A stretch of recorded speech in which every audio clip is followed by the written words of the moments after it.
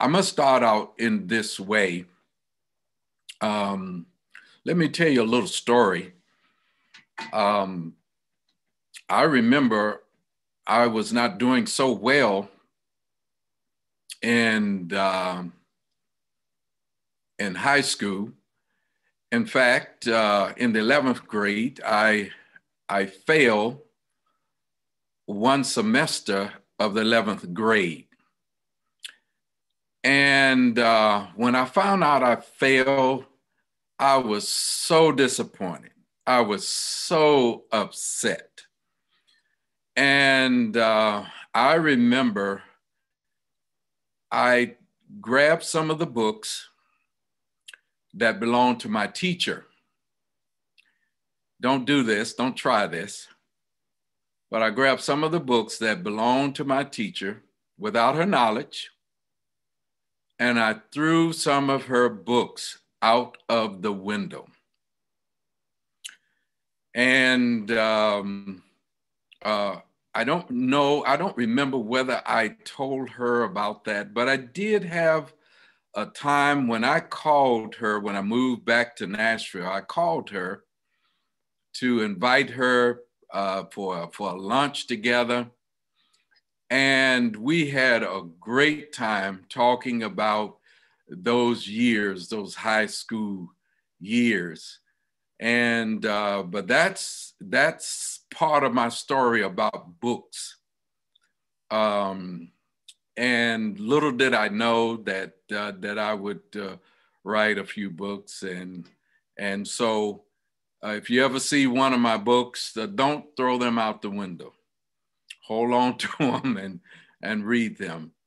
I want to um, share with you today because I understand that this is uh, this is uh, February and this is Black History Month, and I want to share some things with you about uh, uh Black history, uh, some of the things that I've been thinking about. So, at this time, what I would like to do is pray. I, I'm trying to cut the introduction out a little bit uh, because um, uh, the presentation, uh, hopefully, it won't be too long. So let's pray. Father in heaven, we thank you so much for your goodness and your grace. And we pray, dear Lord, that what is presented may be a blessing to those who are on Zoom for the Harvest Church. And we thank you in Jesus' name. Amen. So I suppose I need to share this screen. So I, if I understand it right, I hit this and then we'll go here. Okay. Okay, can can you all see that? Yes. You can. Okay. I need to move this. Um, yeah. I'm going to move this here.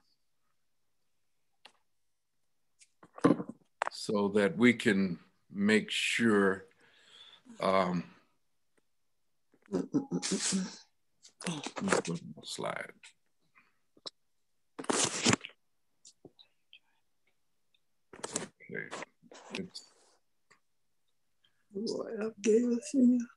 Okay. Just trying to. I wonder if I do this, would that help?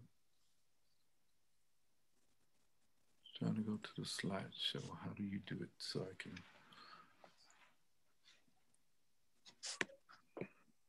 I do have my wife here helping me. I'm trying to get down to the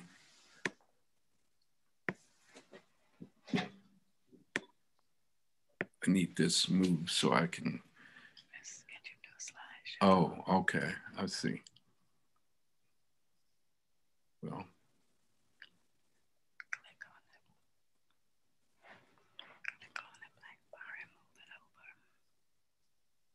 Um,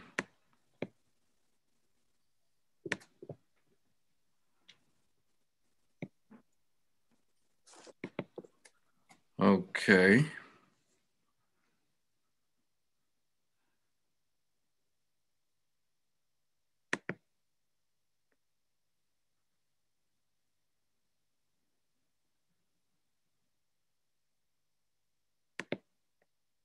Okay, I think I think we're there. Can you see that? Yes. You can see that? Okay. So uh, the, the title of this presentation is called The Notion of Di- Dignity, which is also the title of the book that I wrote, The Notion of Dignity. You may understand why as we proceed. So there's a saying that you've heard if a tree falls in the forest and no one is around to hear it, does it make a sound? Well, what does that mean? In short, it means expressions, meanings, and thoughts, and opinions and actions are, are useless and unimportant if no one ever knows about them. On May 20, on the 25th of May 2020, it did not just change things uh, in the United States for the local community of Minneapolis, it changed the conversation in our nation. It was even bigger than a nationwide conversation. It was pretty much about a global, international concern. If you remember, this uh, date was really a huge date. And so we understand that there were many countries that protested against what happened to George Floyd. These are just some of the countries. We could put up three times the amount of countries that you see on the screen. These are the countries that protested because of the George Floyd incident. So I asked myself, and you probably asked yourselves, what was going on here? Why was this such a, an international event or why did so many people respond internationally? Well, an African American was killed in a way that seemed not to matter, whether he was in the forest or not. But it was as if it was open season. This was in broad daylight that an African American could be killed and nothing would be done. It was painful. Although we've heard of other killings of, of Blacks and all of them are tragic, this one felt different. I know in my own heart, it felt different. It was a feeling of commonality around the world that something was wrong and that all men should have dignity and should be treated with dignity. Martin Luther King, while in the Birmingham jail, wrote this Injustice anywhere is a threat to justice everywhere. And I remember uh, Harvest Church when this happened, and there was a protest, I knew that I had to be involved. I just I just had to be involved. And I remember going down uh, town here in Nashville and uh, joined in the protests uh, to, uh, I guess, to show my displeasure of what had happened. More than 60 countries protested against uh, injustice because of the death of George Floyd. It was how he died that grabbed the attention of the whole world.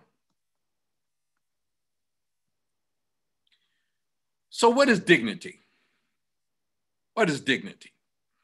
Dignity is the belief that all people hold a special value that is tied to their humanity. That's what dignity is. It is a question of worth. Does human beings have worth? The Bible says, Then God said, Let us make mankind in our image, in our likeness, so that they may rule over the fish of the sea and the birds in the sky, over the livestock and over all of the wild animals and over all the all of the creatures that move along the ground. The Bible says, so God created mankind in his own image. In the image of God, he created them. Male and female, he created them. Genesis 1 26 and 27. So mankind's worth is the reflection of the Creator. It is an intimate relationship by choice with God. Let me say that again.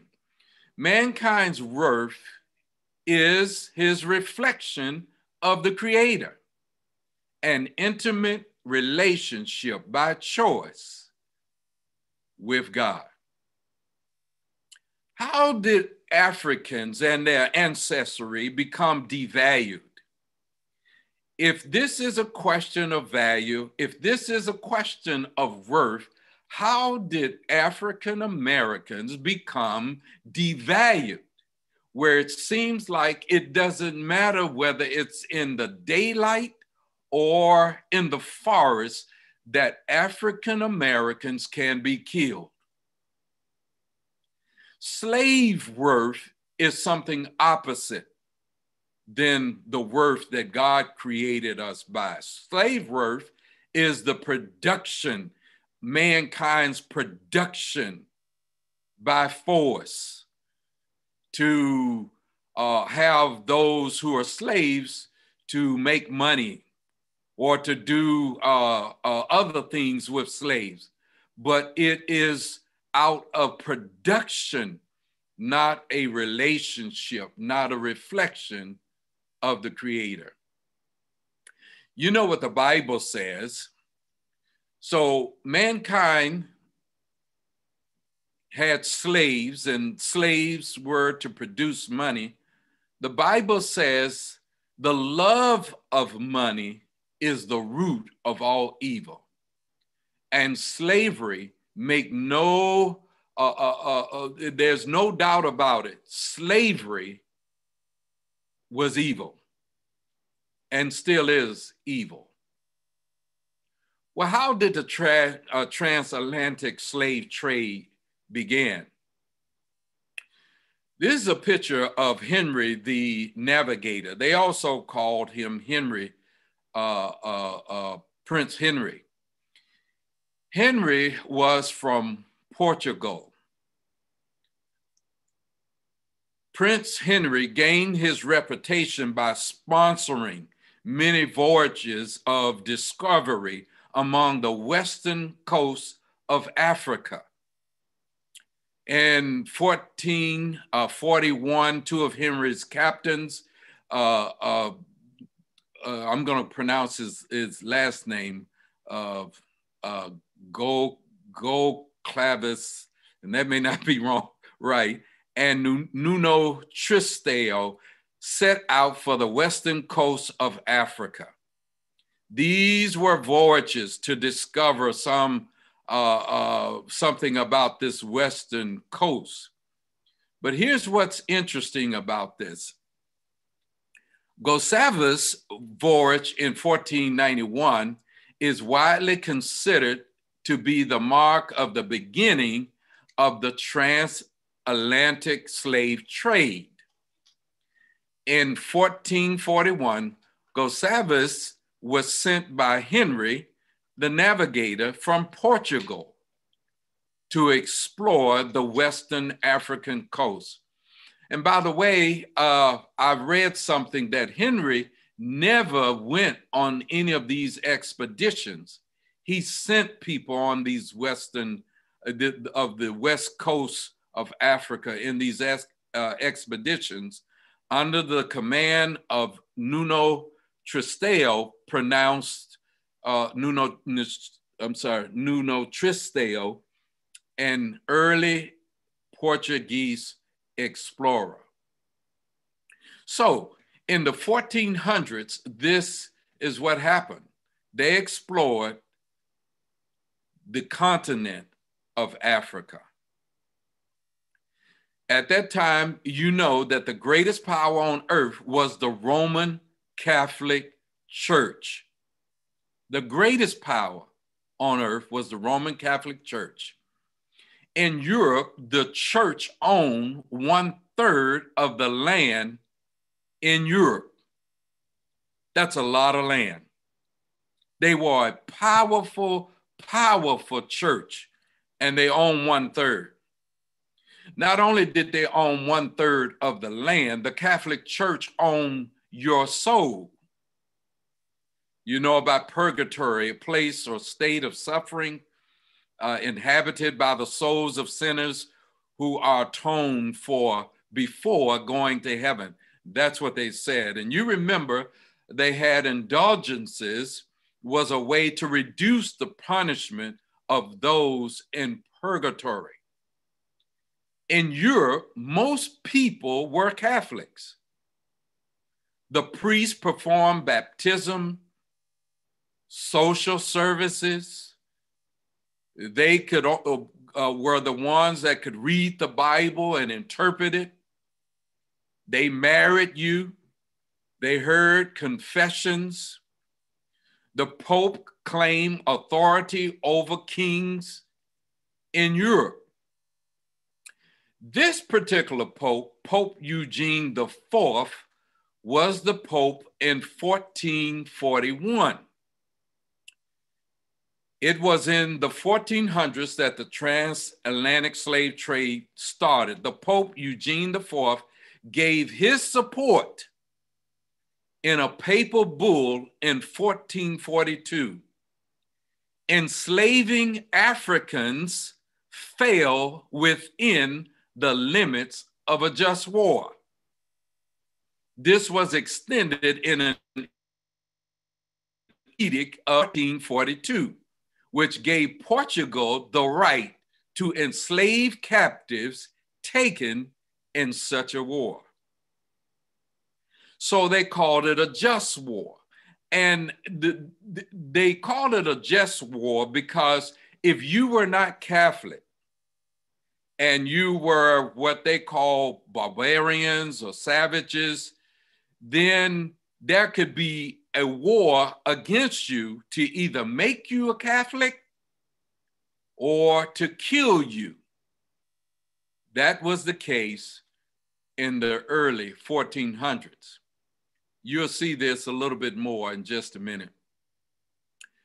This next pope, Pope Nicholas V, he also uh, uh, issued some bulls. The West African and West Central Africa, uh, uh the, uh, the treatment of Blacks were addressed in 1452 and 14, I guess it's 50, I can't 55, when Pope Nicholas V issued a series of papal bulls that granted Portugal the right to enslave sub Saharan Africans.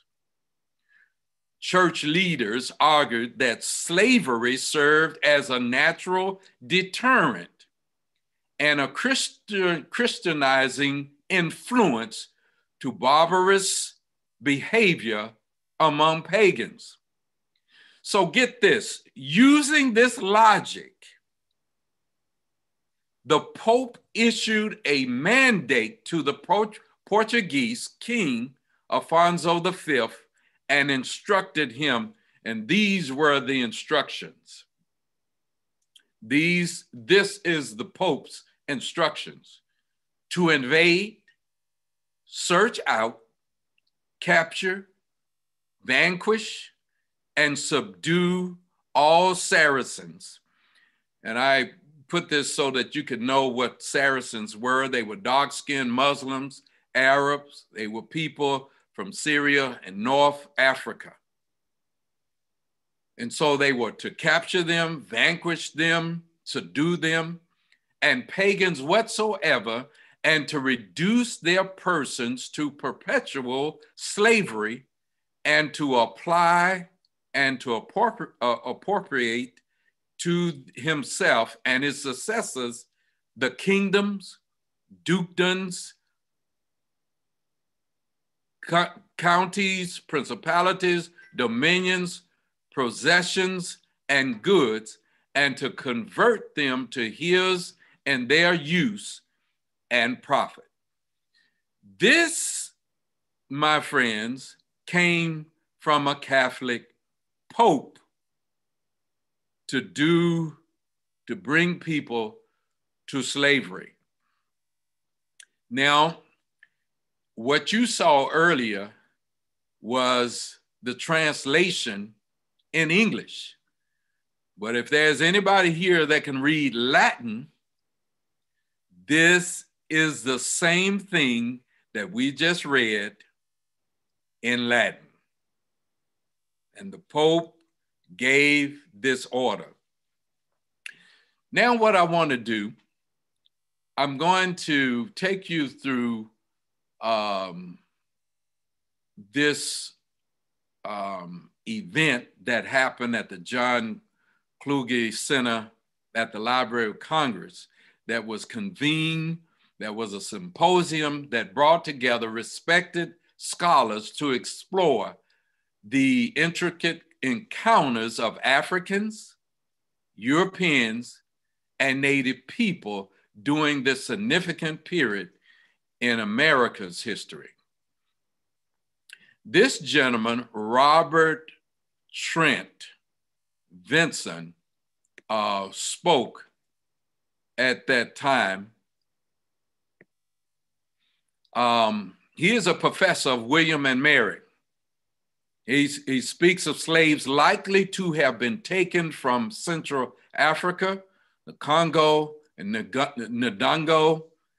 There was a place called Luanda, which was a Portuguese colony, which Portuguese Catholic missionaries and traders there. Eventually, the Congolese settled with Christianity as it state's religion. So let me share something with you.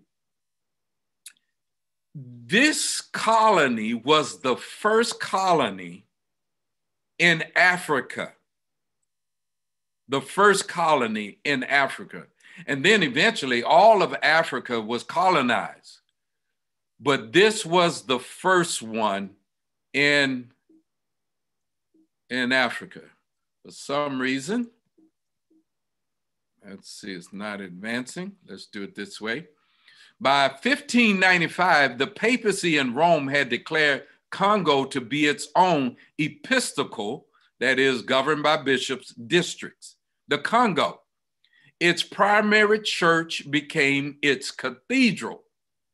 Later, military units came to Ndongo and Congo areas against Ndongo and Congo to take thousands of slaves, war captives, as it were, to Iberia, Portugal. Portugal established the first colony in Angola, in 1575 under European occupation. Now, this is very important because the first ships that transported Africans were those from Portugal. The Portuguese dynamic is important here because Angola became the launching point for Portuguese governors to initiate war, specifically to generate war captives. These war captives, which they in initiated would be taken as slaves. So Angolan based Portuguese merchants held the uh, Asiento contract with Crown to deliver thousands of enslaved people to the Spanish colony.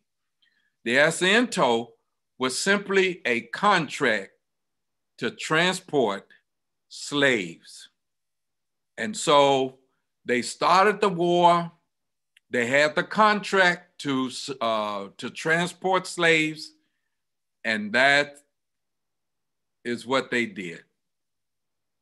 So this combination, uh, according to uh, Trent, so this combination of policy, Portuguese policy to engage in a war and a contract, a commercial contract, created a dynamic where warfare was deliberately used to generate war captives and enslave people. And that's how it happened. I ran across, across something very interesting. Um, I don't have it on the screen, but what I want to do, I want to play it and I want you to listen to this. It's on my phone. Uh, just this week, Henry Louis Gates did a Finding Your Roots. And he was talking about what happened in North Mexico and Central Mexico. And it is the same thing that I just shared with you how they were able to subdue the people. And one figure that was involved, or one uh, church that was involved in all of this was the Catholic Church, and he names them. So I want you to listen to this. The said church, with which action His Majesty was well pleased. So Spain was sending the Roman Catholic Church and conquistadors with mm. guns and superior arms to claim this land for Spain because they had a lot of gold and silver. Right. They used as an excuse the fact that the Native Americans didn't believe in Christianity. And they said, well, these are heathens, they're savages, so we're going to conquer them and Christianize them. We're going to civilize them. Uh, but in civilizing them, quote unquote, kill. it meant killing them, subduing them, converting them, taking them away from their traditional culture.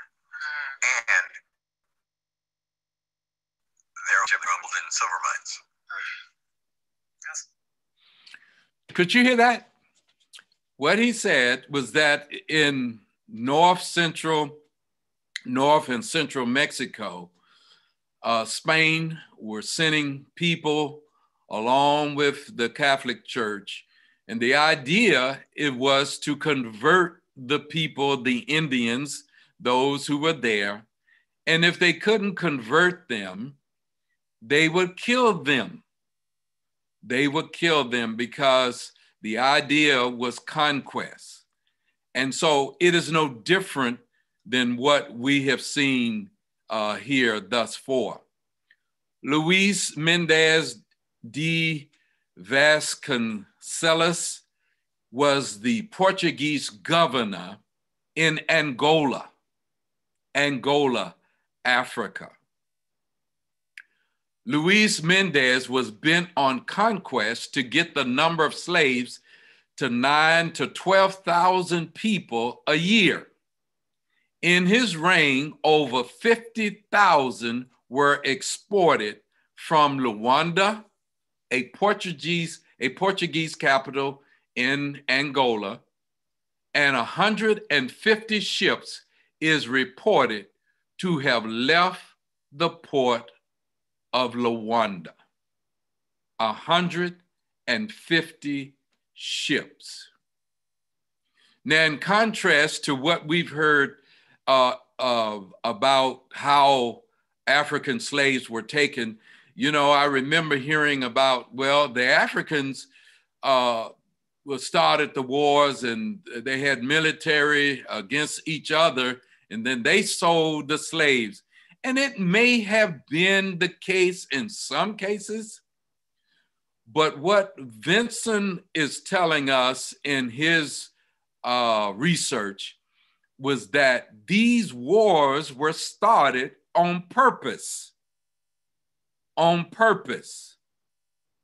And uh, he said it was these military expeditions of the Portuguese with mercenary, militaristic Africans known as the Imbangala that drove these chaotic, lawless conditions and slaves were taken.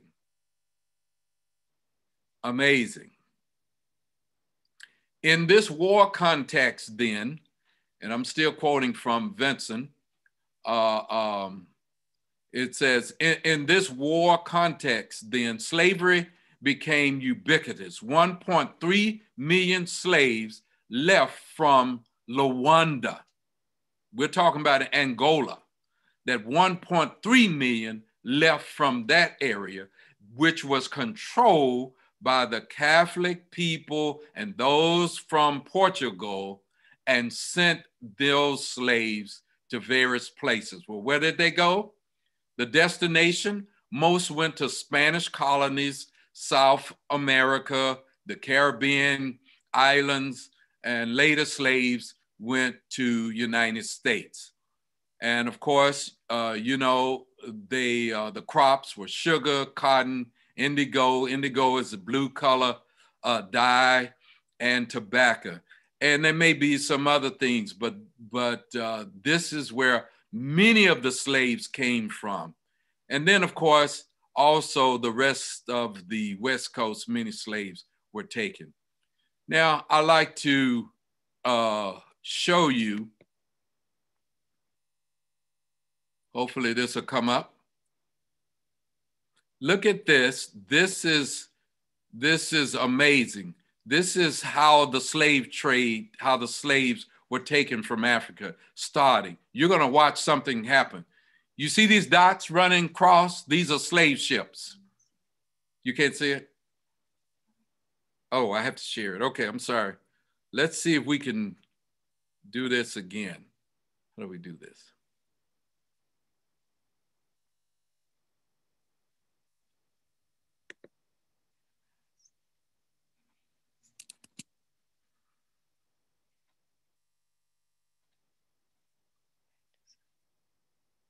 Okay, we're gonna we're gonna try to get this.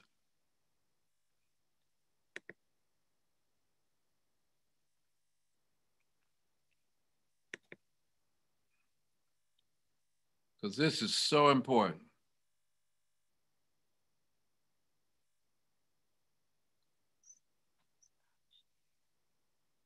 Okay, if you can bear with me.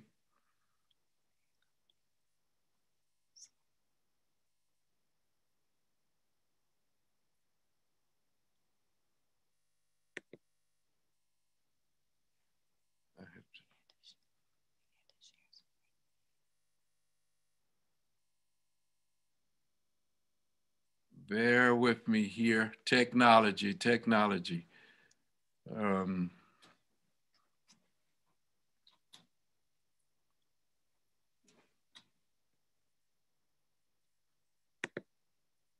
okay. I think I hit share screen again. And let's see. Oh, it's not. I'm sorry, you're not going to be able to see this, it looks like. Um,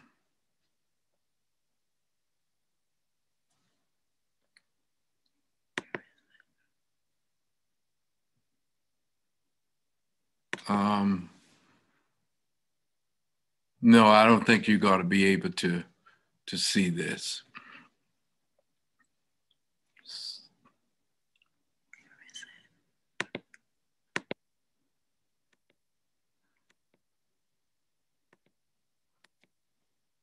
Okay, now I'm trying to get back to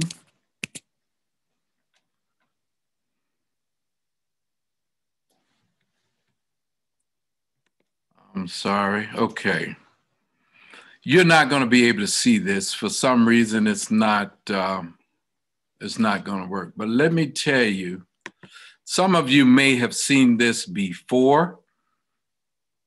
Um, so, um, but what it is, it it showed the the um,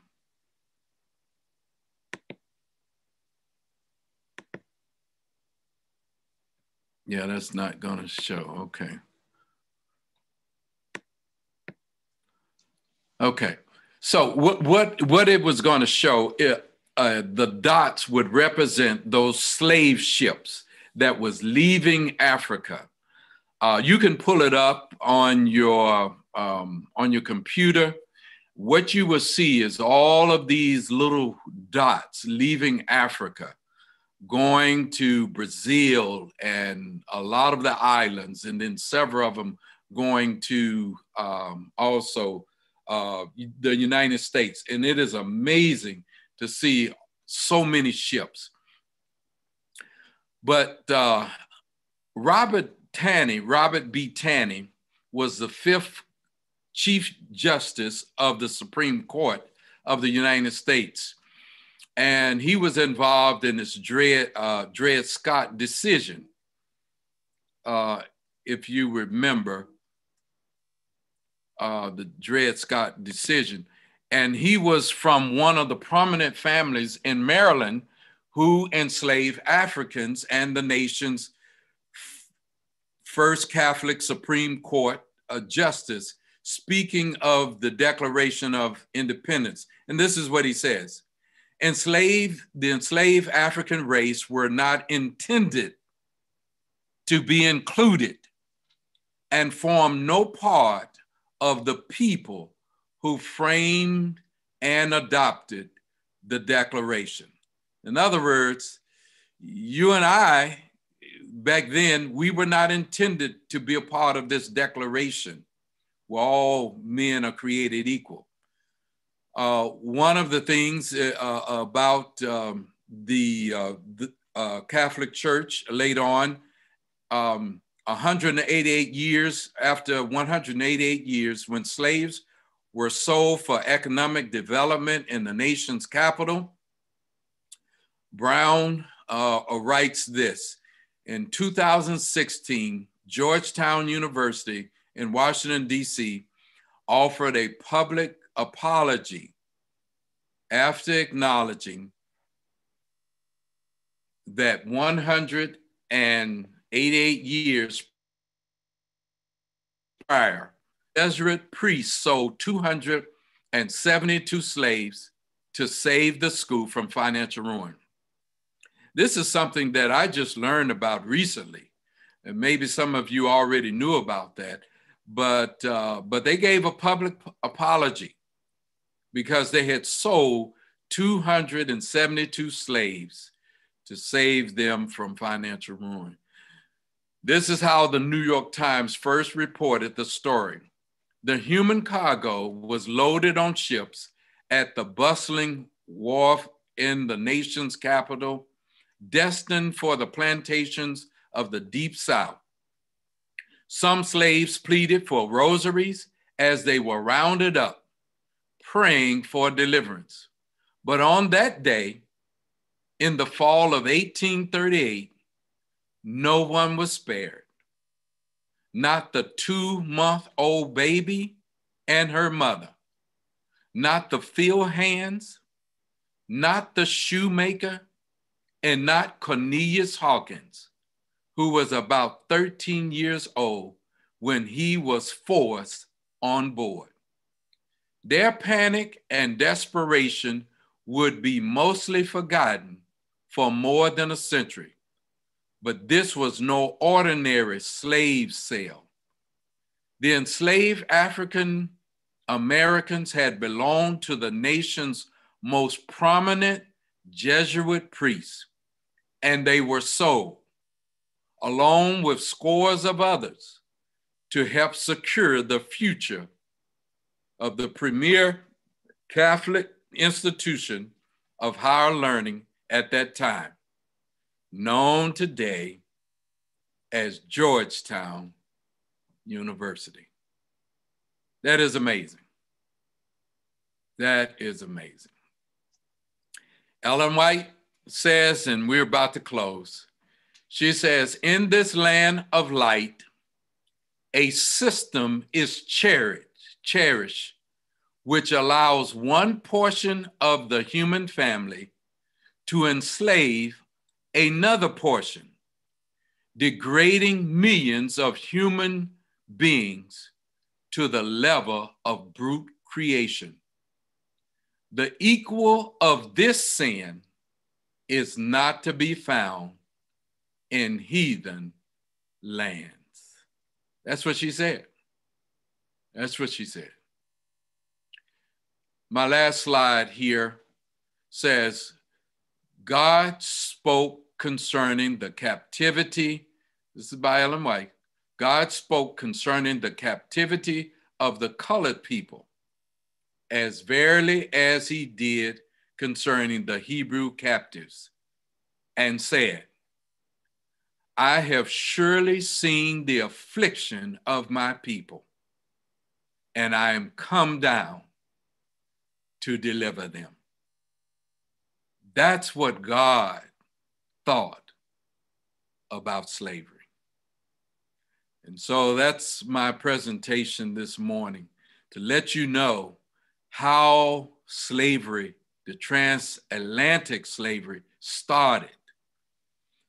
Many people don't know that the Catholic Church did a lot of things and they hid their they hid their hand, but they were involved in the very beginning, not only in Africa, but also in uh, uh, Mexico and the only reason they didn't have such a bigger, larger footprint in the United States was something that happened in the 1500s. And that was Martin Luther started the Protestant Reformation. And in America, there were people there were lots of Protestants that were coming over here, and uh, the Catholic Church uh, was not as big. They didn't have a larger footprint uh, here, um, and uh, and so uh, there were people who rebelled against them, and God God helped to deliver us uh, from slavery. He did it. He did it. And um, that's our presentation for this morning. I wish I could show you uh, the clip of the uh, slave trade, but it's not, uh, it's not working. Let us pray. Father, we thank you for you had us in mind. And eventually, slavery would be over in this country. Thank you so much, dear Lord.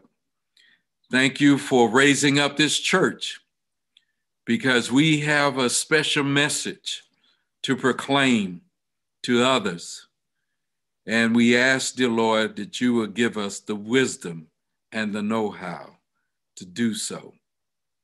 We pray this prayer in Jesus' name. Amen.